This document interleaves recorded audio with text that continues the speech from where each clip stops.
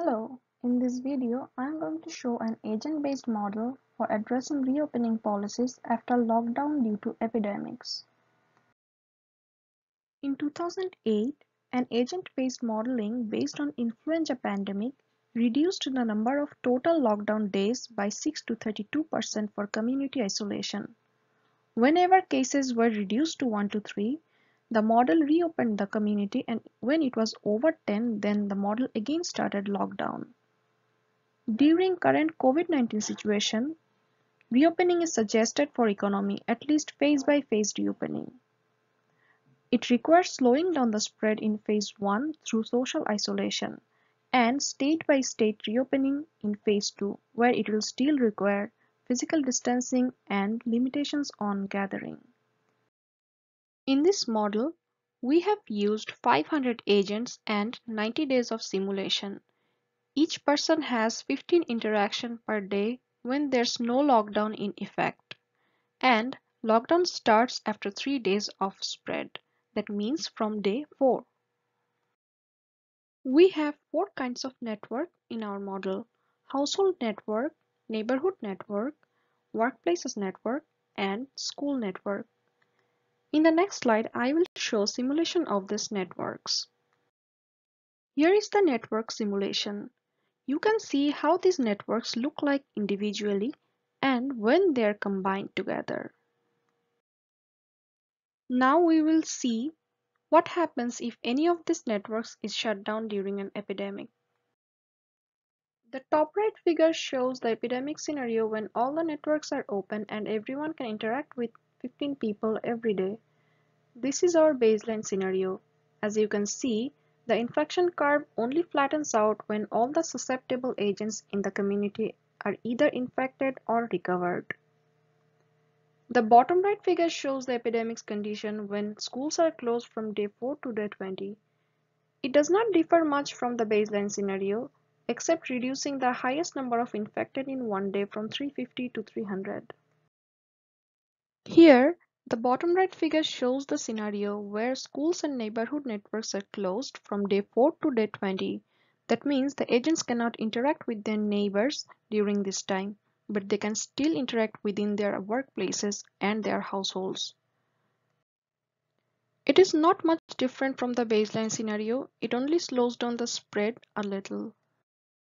Now this is a total lockdown situation where schools, workplaces, and neighborhood networks are closed from day 4 to day 20 and the agents can only interact with their family members during this time.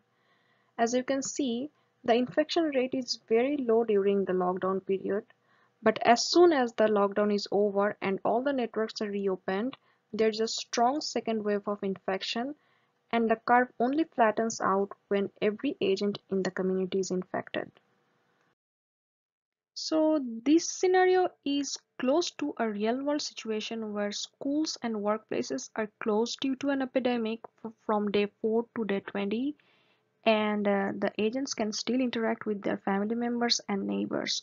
As we can see here, the infection rate starts slowing down but as soon as the lockdown is over, there is a second wave and the infection curve only flattens out when all the susceptible agents are infected. In the current situation, schools will be closed for rest of the academic year in Michigan, but workplaces will start reopening within few days. In our model, we try to evaluate when it is safe to start reopening. In our model, school networks closed after third day of spread, but family and neighborhood network won't be shut down. Some workplaces will start opening in few days and each agent will have 12 interaction per day and it is 90% likely that agents will stay within their network. Based on these criteria, if schools are closed and workplaces are open from day 21, the spread is slower during the lockdown. But as soon as workplaces open, it gets faster and the curve only flattens when all susceptible agents are infected. If workplaces open from day 28, the spread is slower during the lockdown, but as soon as the workplaces are open, there is a second wave of infection and the curve only flattens out after everyone is infected. If workplaces open from day 35, the results are almost similar.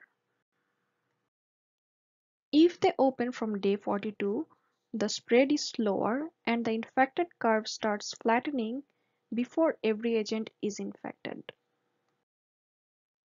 And if the workplaces open from day 49, the curve starts flattening even earlier and around 90 agents remain uninfected at the end.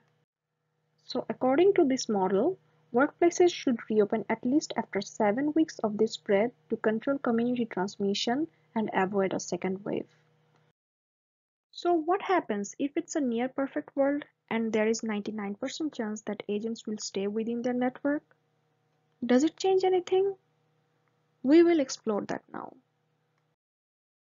The top right figure is the baseline of this scenario. As we can see, the results are not much different from our previous scenario. It also suggests workplaces should reopen at least after 7 weeks of the spread to avoid a second wave and stop community transmission. But our model has some limitations. This model surely slows down the spread, but eventually almost 80% of the people are getting it. The model has a very high contagion probability and low number of agents. This model only represents a very small closed society with high interaction, for example nursing homes, retirement society, cruise ship, or prison. This model can be used for these communities as these different scenarios flatten the curve to give best possibility to treat the people in the community. If they all get infected at the same time, it will be difficult to treat them all together. These are my references and thank you for watching the video.